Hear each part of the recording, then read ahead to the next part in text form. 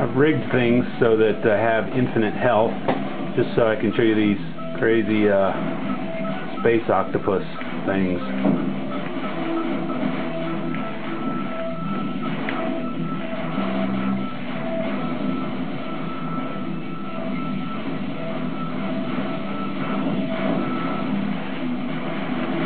We're going to get the crazy octopus pinwheel of death going.